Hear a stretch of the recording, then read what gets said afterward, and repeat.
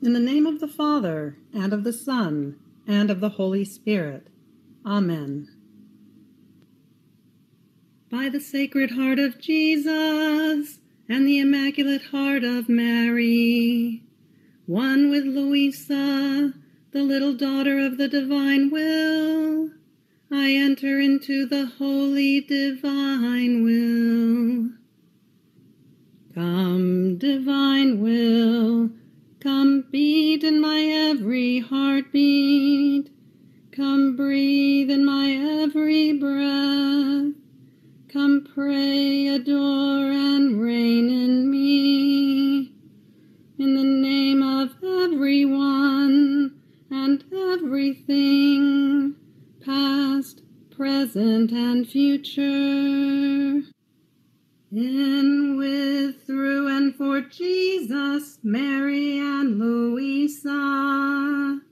In, with, and for all.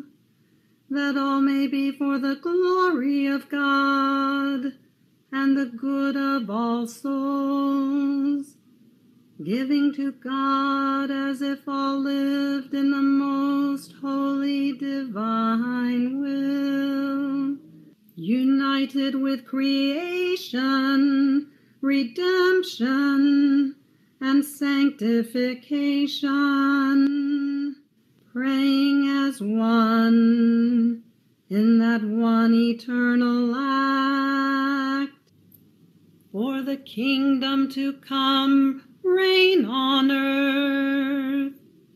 Fiat.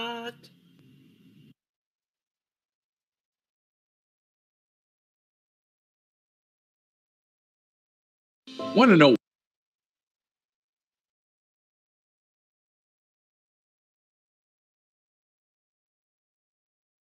Book of Heaven, Volume 24, Part 4.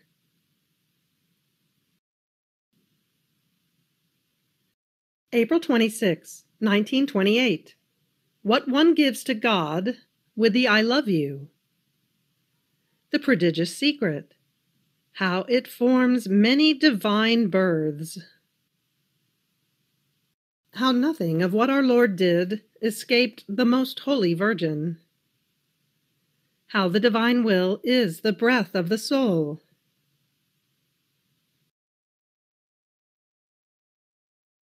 I was doing my round in the divine fiat, and according to my usual way, I was investing all of creation with my refrain I love you, I adore you, I bless you. And while doing this, I thought to myself, what do I give to my God with this long story of I love yous? And my sweet Jesus, moving in my interior, told me, My daughter, a pure, holy, and upright love is a divine birth. It comes out of God and has the virtue of rising and entering into God, to multiply these births from Him, and to bring God Himself to each creature who yearns to love Him. Therefore, when the soul is invested by this love and receives this birth, she can form many other births for as many times as she says her, I love you, in such a way that her I love you flies before God. And the Supreme Being looks inside the I love you that the creature sends to him, and in that little I love you, he finds all of himself and feels he is being given all of himself by her. That little I love you contains a prodigious secret. In its littleness, it encloses the infinite, the immense, the power, so much so that it can say, I give God to God. And in that little I love you of the creature, the infinite being feels all of his divine qualities being touched. Because, since it is a birth from him, he finds all of himself in it. This is what you give me with your many I love yous. You give me myself as many times. There is nothing more beautiful, greater, and more pleasing to me that you could give me than to give me all of myself. My fiat that forms in you the life of your I love you for me delights in forming many births from us, and so it keeps the pace of the I love you in you, yearning to always mint the divine coin of your I love you for each created thing. And then it looks to see whether all the things created by us are pearled with the prodigious secret of your I love you. My daughter, we do not look at whether what the creature does is great or small. We look rather at whether there is the prodigy of our secret and her littlest acts, thoughts, and sighs are invested by the power of our will. All is in this, and it is all for us. After this, I was continuing my round in the fiat to accompany all that Jesus had done in redemption. And I thought to myself, how I wish I had done what the sovereign mamma did when she was with Jesus. Certainly she followed all of his acts and let nothing escape her. But as I was thinking of this and other things, my always lovable Jesus added, My daughter, indeed nothing escaped my mamma, because everything I did and suffered resounded like deep echo in the depth of her soul and she was so attentive in waiting for the echo of my acts, that the echo, together with everything I did and suffered, would remain imprinted in her. And the sovereign queen emitted her echo within mine, and made it resound in the depth of my interior, in such a way that torrents would run between me and her, seas of light and of love that we unloaded into each other. And I made the deposit of all my acts in her maternal heart. I would not have been content had I not had her always with me, had I not felt her continuous echo, that resounding in mine drew from me even my heartbeats and breaths, to deposit them in her. In the same way, I would not be content if even from that time I did not have you, who were to follow all of my acts in my divine will. In fact, even from that time, I made the deposit of them in you, moving the echo of my Queen Mamma into the depth of your soul. And through the length of the centuries, I looked at the echo of my mamma in you in order to realize the kingdom of my divine will. This is why you feel as though drawn to follow my acts. It is her maternal echo that resounds in you. And I take the occasion to make the deposit of it in the depth of your interior to give you the grace of making my eternal fiat reign in you. Then I felt my poor mind as though immersed in the sea of the divine fiat. Its light invested all of me, and I could see neither the height nor the depth of its boundaries. I felt it as more than life in me, flowing everywhere within me and my beloved Jesus, moving in my interior, told me, My daughter, my will is life, it is air, it is breath of the creature. It is not like the other virtues that are neither continuous life nor breath of the creature, and therefore they are exercised at time and circumstance. Patience is not always exercised, because many times there is no one who allows it to be exercised. And so the virtue of patience remains idle without giving its continuous life to the creature. Nor does obedience or charity form their life because the one who has the continuous act of commanding, or the one toward whom charity could be exercised, may not be there. Therefore, the virtues can form the ornament of the soul, but not the life. On the other hand, my will is prime act of all the acts of the creature. So if she thinks, if she speaks, if she breathes, it is my will that forms the thought, the word, and giving her the breath, it maintains the circulation, the heartbeat, the warmth. And just as one cannot live without breathing, so one cannot live without my divine will. There is always need of it to be able to continue living. Yet, while they receive its continuous breath, it is not recognized.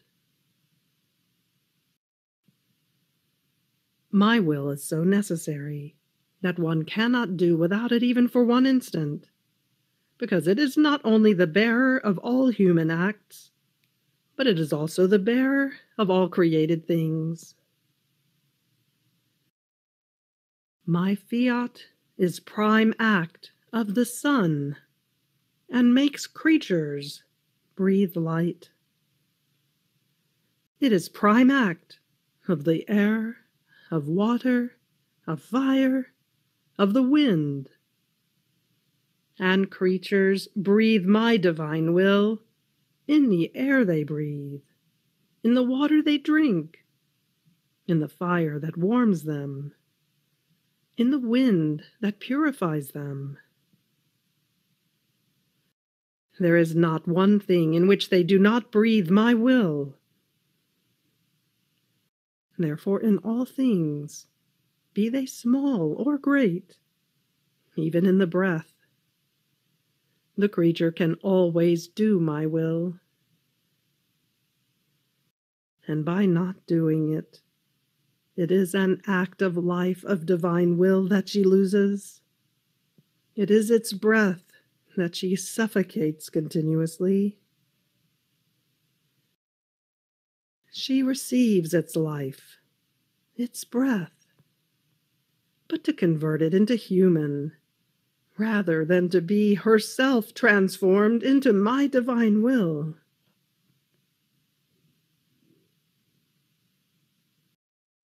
April 29th, 1928.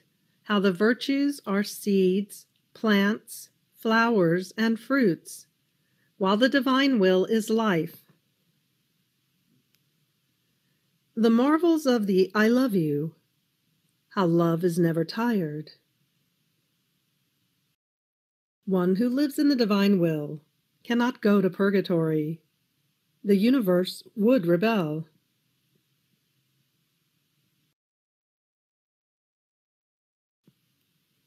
My poor mind is always prey to the supreme fiat. It seems to me that I can think of nothing else, nor do I want to occupy myself with anything else. I feel a current in me that stops me now at one point, now at another point of the divine will.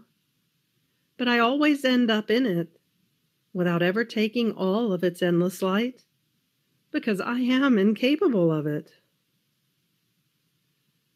And my lovable Jesus, moving in my interior, making me a surprise, told me, My daughter, when the soul practices a virtue, the first act she practices forms the seed.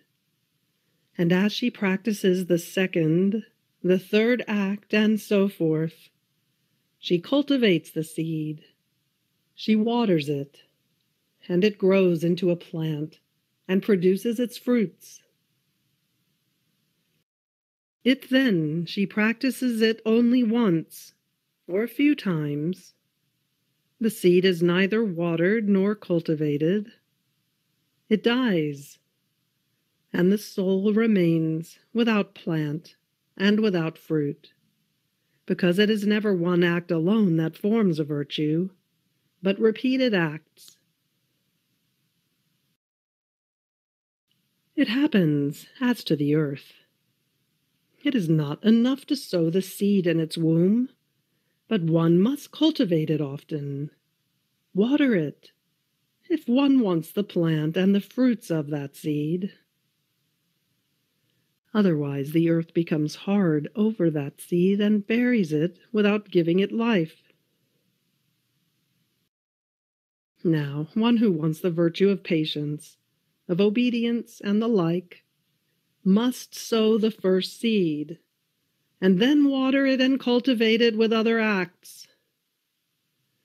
In this way, she will form many beautiful and varied plants within her soul. On the other hand, my will is not seed like the virtues, but life. And as the soul begins to be resigned, to look at my will in everything, and to live in it, the little divine life is formed in her. And as she advances in the practice of living in my will, this divine life grows and keeps expanding to the point of filling the soul with all of this life in such a way that nothing is left of her but a veil that covers it and hides it within itself. And just as with virtues, so with my will. If the creature does not give the continuous nourishment of her acts to the little divine life within herself, this life does not grow and does not fill her entirely. It happens as to a newborn baby who dies at birth if he is not nourished.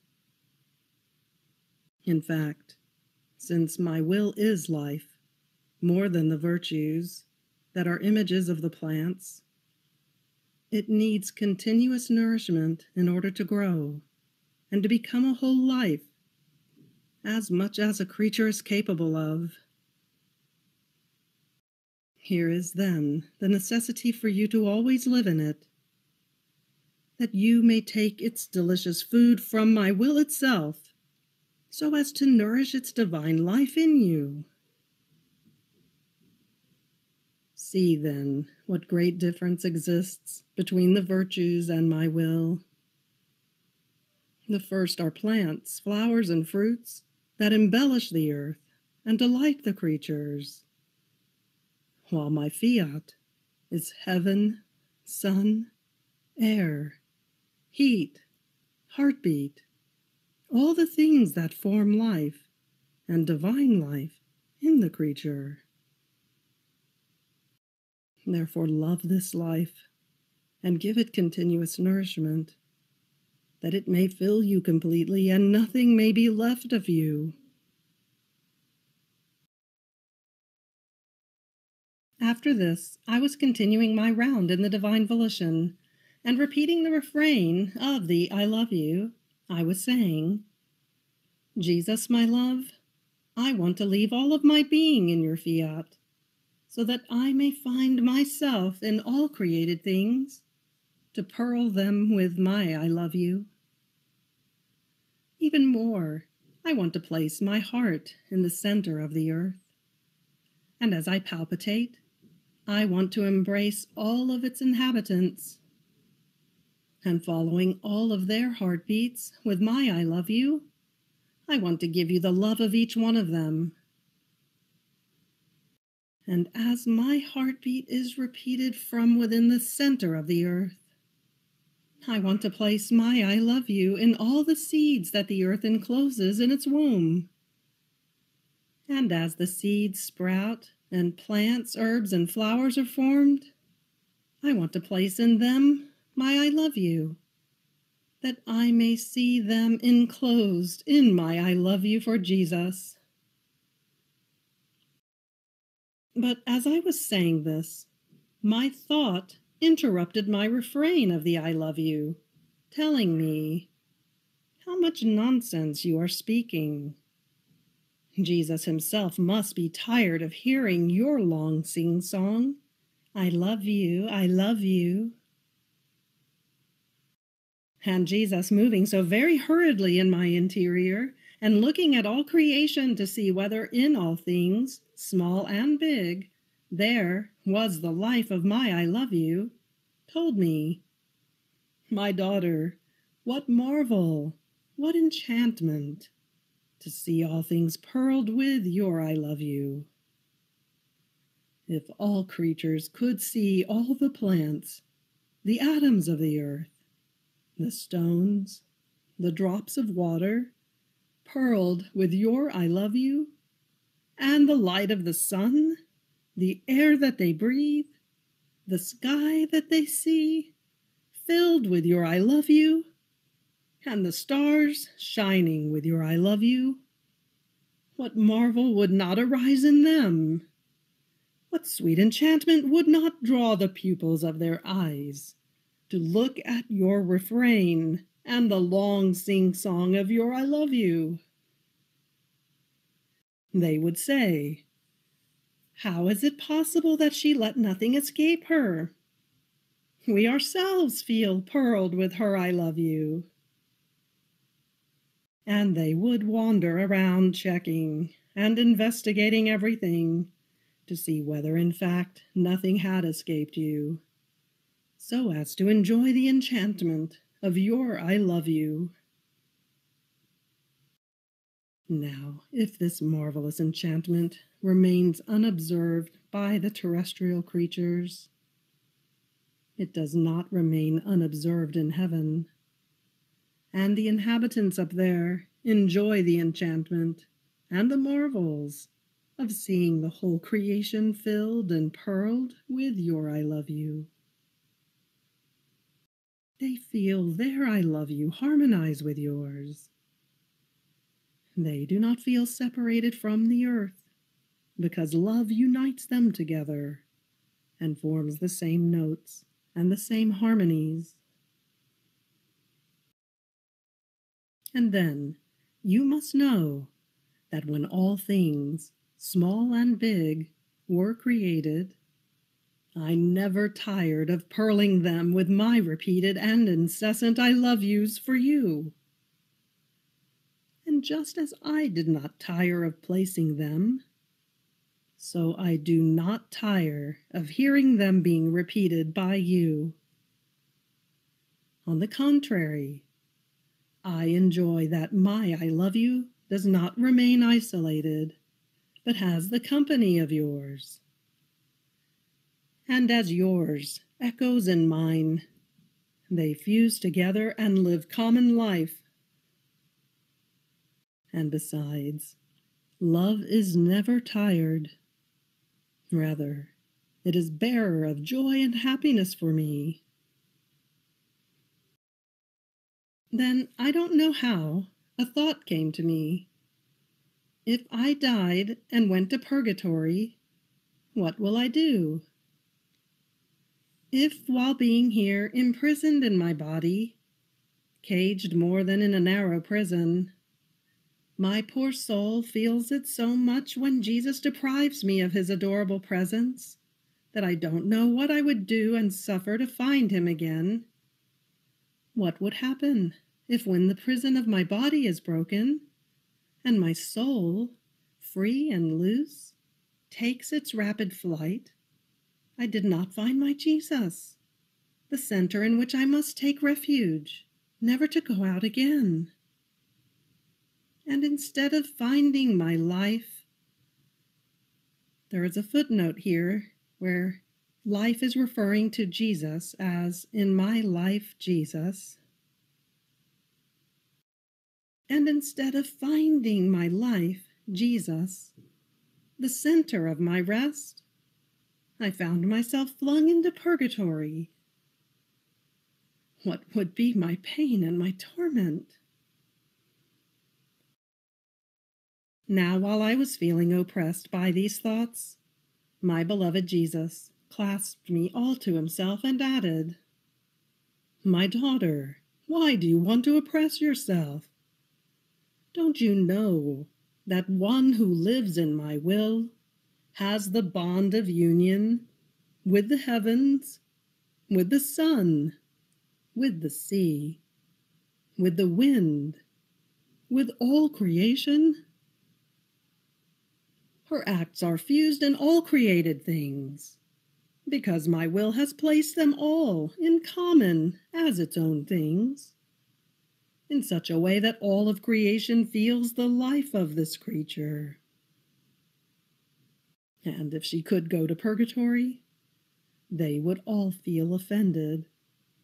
The entire universe would rebel, and they would not let her go alone to purgatory the heavens, the sun, the wind, the sea, all would follow her, moving from their places.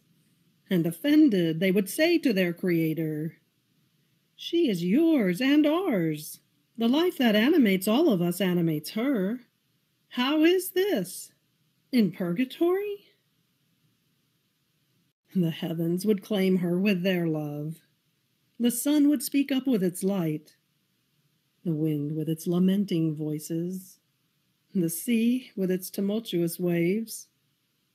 All would have a word to defend she who has lived common life with them.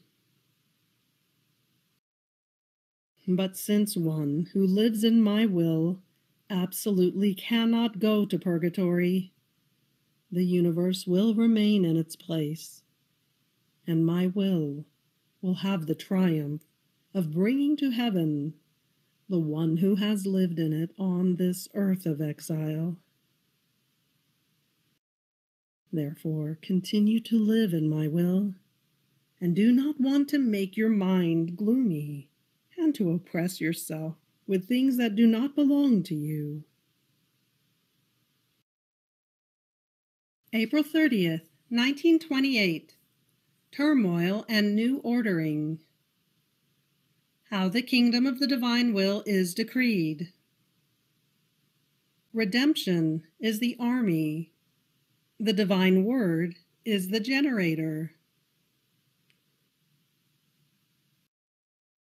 I was thinking about the divine will, and oh, how many thoughts crowded my mind. Having transported me outside of myself, my always lovable Jesus, had shown me the many chastisements with which he wanted to strike the human generations. And I, shaken, thought to myself, how can the kingdom of the divine fiat come if the earth abounds with evil? And divine justice is arming all the elements to destroy man and what serves man. And besides, this kingdom did not come when Jesus came upon earth with his visible presence. How can it come now? As things are now, it seems difficult to me. And my sweet Jesus, moving in my interior, told me, My daughter, everything you saw will serve to purify and prepare the human family. The turmoils will serve to reorder, and the destructions to build more beautiful things. If a collapsing building is not torn down, a new and more beautiful one cannot be formed upon those very ruins. I will stir everything for the fulfillment of my divine will. And besides, when I came upon earth, it was not decreed by our divinity that the kingdom of my will should come, but that of redemption. And in spite of human ingratitude, it was accomplished. However, it has not yet covered all of its way. Many regions and peoples live as if I had not come. Therefore, it is necessary that it make its way and walk everywhere, because redemption is the preparatory way for the kingdom of my will. It is the army that goes forward in order to form the peoples, to receive the regime, the life, the king of my divine will. And so, what was not decreed for that time, we decree today, for the fulfillment of the kingdom of our fiat. And when we decree, all is done. In us, it is enough to decree in order to accomplish what we want. This is why what seems difficult to you will all be made easy by our power. It will act like those mighty winds after long days of thick and rainy clouds. The power of the wind dispels the clouds, takes rain away, and makes the good weather return and the sun embrace the earth. In the same way, more than ruling wind, our power will put to flight the darkness of the human will, and will make the sun of my eternal will reappear to embrace the creatures. And everything I manifest to you, the truths that pertain to it, are nothing other than the confirmation of what we have decreed. Furthermore, if the kingdom of my divine fiat and the time of its nearing fulfillment had not been decreed before by the divinity, there would have been no reason, nor necessity, nor purpose for choosing you, for keeping you sacrificed for so many years, and for entrusting to you, as to its little daughter, the knowledges of it, its admirable truths, and its secret and hidden sorrows.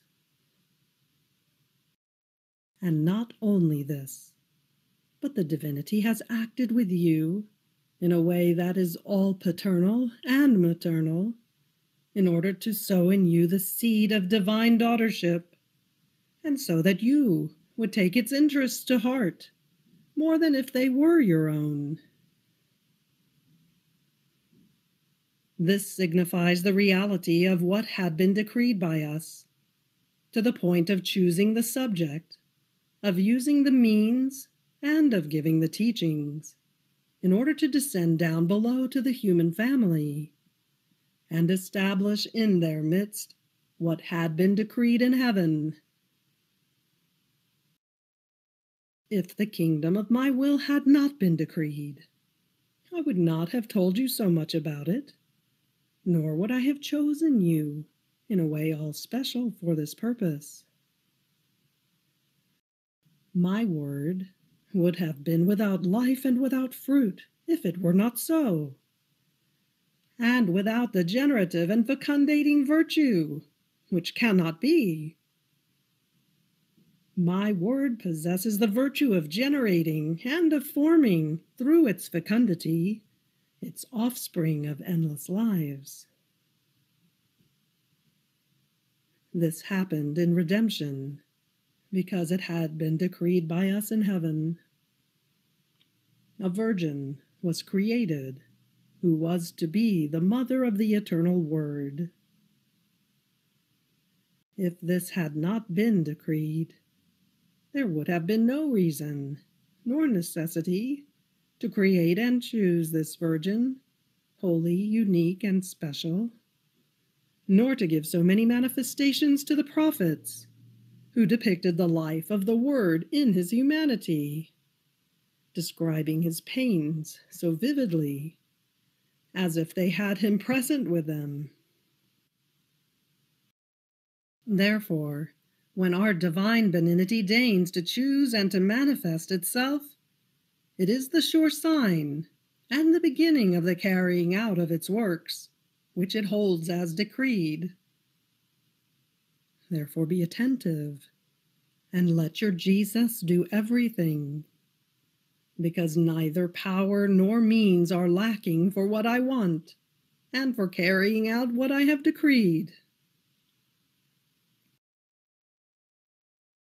You have reached the end of the Book of Heaven, Volume 24, Part 4. Fiat.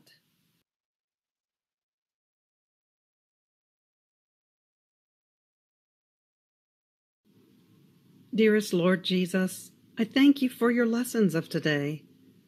Free me from living one single instant outside of your will. Have pity on me and do not permit that I either know or acquire any other life except that of your divine will. Fiat et Amen. In the name of the Father, and of the Son, and of the Holy Spirit. Amen.